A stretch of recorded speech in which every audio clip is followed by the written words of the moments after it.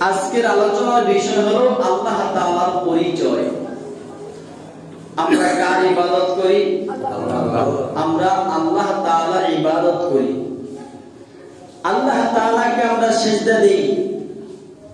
আল্লাহ তাআলার জন্য সমস্ত ইবাদত আমরা আল্লাহর জন্য করি। এজন্য আল্লাহ তাআলার পরিচয় আমাদের জানা দরকার আছে। আছে কিনা নাই? আছে। আল্লাহ রাব্বুল আলামিন কোরআনে কারীমের মধ্যে অসংখ্য অগণিত আয়াতের মধ্যে আল্লাহ তাআলা আল্লাহ তাআলার পরিচয় দিয়েছেন। আল্লাহ তাআলাকে আমরা কোন ব্যক্তিকে চিনতে গেলে তার সত্তার মাধ্যমে চিনা যায় না বরঞ্চ তার গুণের মাধ্যমে তাকে চিনা যায়।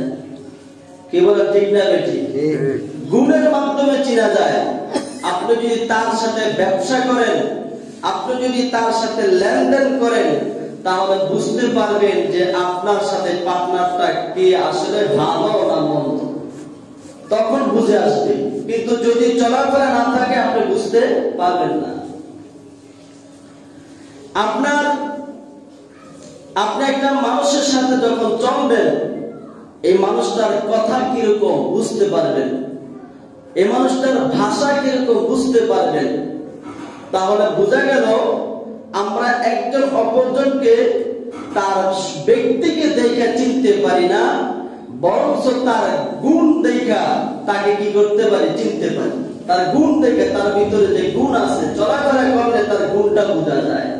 বোঝা যায় কি যায় না? চলাফেরা করলে বোঝা যায়। যত লম্বা জামা পড়ুক আর যত যতক্ষণ টুপি পরে থাকুক পাঁচ অক্ট নামাজ পড়ুক তারপরও তার সাথে যদি আমি চলাফেরা করি, তাহলে বুঝতে পারি সে কি আসলে মানুষটা সে কীরকম। যে ব্যক্তি দান করে, সে ব্যক্তি দান করে, তার গুণ অর্জন করে সে দানবীর যে ব্যক্তি হজ করে, সে হজ করে, তার গুণ অর্জন করে সে হাজি। যে ব্যক্তি আলেম হয়, সে এলেম অর্জন করে, তারপরে তাকে মানুষ আলেম বলে। যে ব্যক্তি হাফেজ হয়, পূর্ণ কোরআন শরীফ করে, তারপরে সে হাফেজ হয়। তাহলে তাকে, সে যে হাফেজ, তাকে তাকে তার গুণ দ্বারা চেনা যায়। সে যে আলেম, তাকে তার গুণ দ্বারা চেনা যায়। সে যে হাজি, তাকে সে হজ করছে গুণ দ্বারা তাকে চেনা যায়। সে যে ব্যবসায়ী সে ব্যবসা করে বিদায় তার এই গুণ দ্বারা তাকে বোঝা যায় সে ব্যবসায়ী। কি বলে ঠিক না ঠিক? সে দোকানদার তাকে দোকানদারি করতে করে সে তার যে গুণ আছে এই গুণ দ্বারা তাকে কি করা যায়? বোঝা যায়। তো আল্লাহ রব্বুল আলামিন কেউ আল্লাহর গুণ দ্বারা আল্লাহকে চেনা সম্ভব হয় সুবহানাল্লাহ। এই জন্য হাদিসে পাকের মধ্যে আছে আল্লাহর পয়গম্বর রাসূলুল্লাহ সাল্লাল্লাহু আলাইহি ওয়াসাল্লাম বলেন, তাফাক্কারু ফি খালকিল্লাহ ওয়া লা তাতাফাক্কারু ফিল্লাহ। আল্লাহর পয়গম্বর বলেন, তোমরা আল্লাহ রাব্বুল আলামিনের সৃষ্টি নিয়ে চিন্তা করো, আল্লাহ রাব্বুল আলামিনের গুণ নিয়ে তোমরা চিন্তা করো। আল্লাহ রাব্বুল গুণ নিয়ে চিন্তা করলে আল্লাহকে খুঁজে পাইবা আর যদি আল্লাহকে নিয়ে চিন্তা করো, তাহলে তোমাদের মাথা নষ্ট হয়ে যাবে। আল্লাহ কি খায়? আল্লাহ কি করে? আল্লাহ কোথায় ঘুমায়? আল্লাহ কি কোথায় বসে থাকে? কোথায় দাঁড়িয়ে থাকে? এই ধরনের প্রশ্ন যখন আমাদের ভিতরে জাগবে তখন বেইমান হইয়া কবরে যাওয়ার ছাড়া আমাদের আর কোনো কিছু রাখবে না, উপায় থাকবে না। বরঞ্চ আল্লাহর পয়গম্বর বলেন, আল্লাহ রাব্বুল আলামিনের গুণ নিয়ে তুমি চিন্তা করো। গুণের মাধ্যমে আল্লাহর পরিচয় লাভ করো, আল্লাহর পরিচয় তুমি খোঁজ করে পাইবা। এই জন্য কোরআনে কারিমের মধ্যে আল্লাহ রাব্বুল আলামিন তার নিজের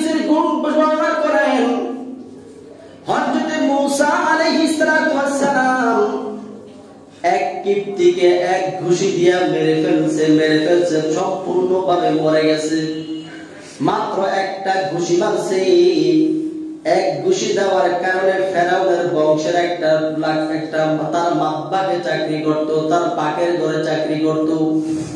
পাকের ঘরে লোকটা চাকরি করত, মুসা এই ব্যক্তিকে মেরে দেশ থেকে দেশ থেকে চলে গেলেন।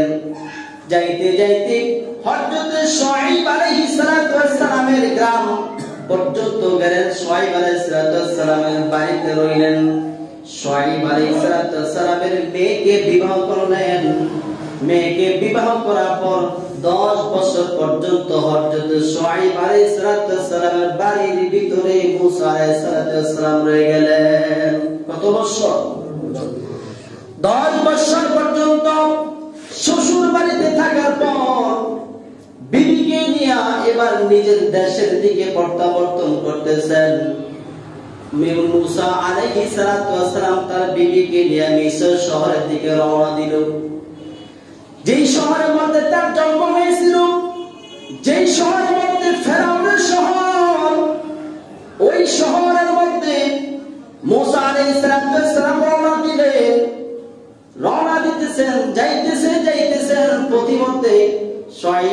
মুসা স্ত্রী গর্ভবতী রাস্তার মধ্যে তার প্রসব বেদনা শুরু হয়ে রাস্তার মধ্যে যখন প্রসব বেদনা শুরু হয়ে গেল, মহিলাদের যখন নাকি বাচ্চা জন্ম নেয়, বাচ্চা যখন জন্মগ্রহণ করে তখন তাদেরকে আগুন দ্বারা তাপ দিলে ভালো হয় ঠিক না বেশি বর্তমান যুগে হাসপাতালের মধ্যে সিজার হয় যার কারণে তাপ দেওয়ার কোনো প্রয়োজন হয় না ঠিক না বেশি আওয়াজ দিয়ে বলেন ঠিক না বেশি ঠিক।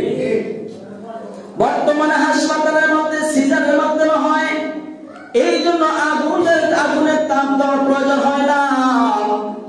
কিন্তু নরমালি যখন ডেলিভারি হয় তখন মেয়ের মহিলাদেরকে বাচ্চা প্রসব হওয়ার পরে তাদেরকে আগুন দ্বারা তাপ দিতে তাদের সুবিধা হয়, ভালো হয়।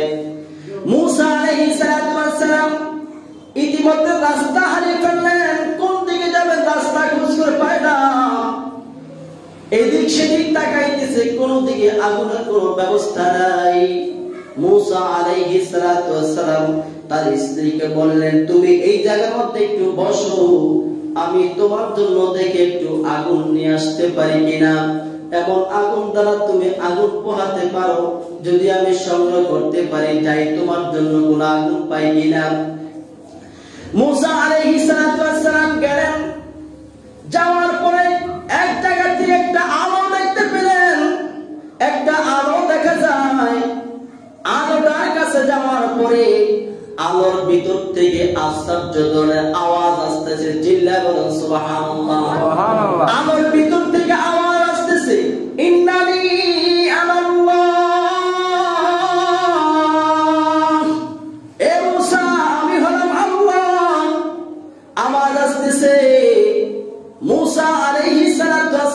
কখনো এর পূর্বে আল্লাহর সাথে কথা হয় নাই আল্লাহর সাথে সাক্ষাৎ হয় নাই। আল্লাহ রাব্বুল আলামিন মুসা আলাইহিস সালাতু ওয়াসসালামকে বলতেছে, আলোর একটা গাছের থেকে একটা আলো দেখা যায়, ওই আলোর থেকে বলতেছে, ইন্নানি আনাল্লাহ হে মুসা, আমি হলাম আল্লাহ। মুসা আলাইহিস সালাতু ওয়াসসালাম বলেন, আল্লাহকে আল্লাহকে তো চিনি না।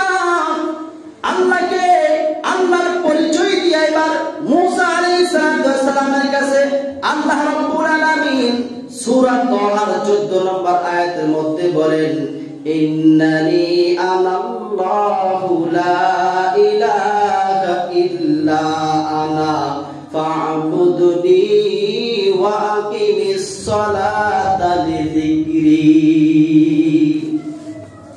আল্লাহ রাব্বুল আলামিন বলেন, আমি আল্লাহ, লা ইলাহা ইল্লা আনা, আমি ছাড়া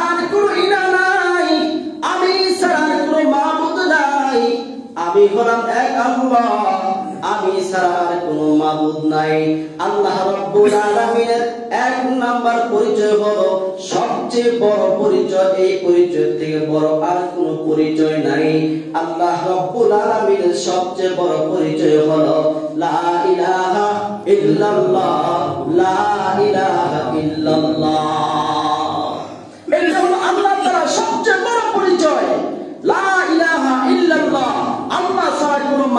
নাই দুনিয়ার মধ্যে সব কিছু মাখলুক, আর খালেক আর মা পুত্রের একজন, তিনি হলেন কে? আল্লাহ। মুসা আলাইহিস সালাম